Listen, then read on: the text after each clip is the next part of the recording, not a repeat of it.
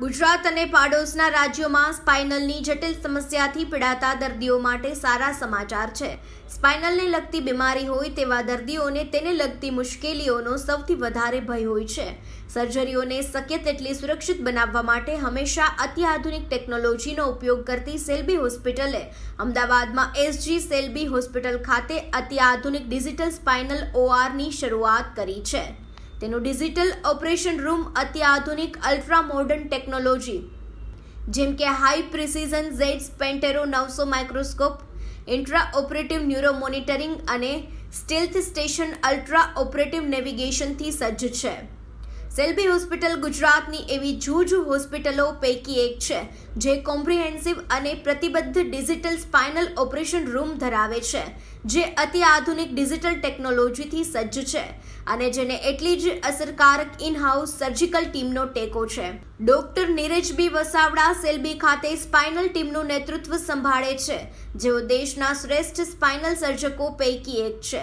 તેઓ અત્યંત જટિલ સ્પાઇનલ સર્જરીમાં વિશાળ અનુભવ ધરાવે છે અને મિનિમલી ઇન્વેઝિવ સ્પાઇનલ સર્જરીમાં નિષ્ણાંત છે.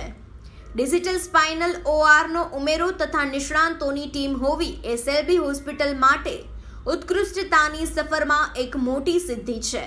અત્યંત સ્પેશિયલાઇઝ્ડ સ્પાઇનલ સર્જરી માટે સંકળાયેલી જટિલતાઓ અને સંભવિત મુશ્કેલીઓ દૂર કરવા માટે ડિજિટલ સ્પાઇનલ ઓઆરથી ડોક્ટર નીરજ બી વસાવડા દ્વારા સ્થાપિત અને અનુસરવામાં આવતા સેફ સર્જરી પ્રોટોકોલનો દાયરો વિસ્તરશે. Doctor Neeraj Vasavada, senior spinal surgeon અને ડોક્ટર વિક્રમ શાહ, ચેરમેન અને મેનેજિંગ ડિરેક્ટર સેલ્બી હોસ્પિટલ્સ દ્વારા આ બાબતે ખાસ માહિતી પત્રકારોને આપવામાં આવી હતી. કયા પ્રકારની ડિજિટલ સર્જરી છે સ્પાઇન માટે?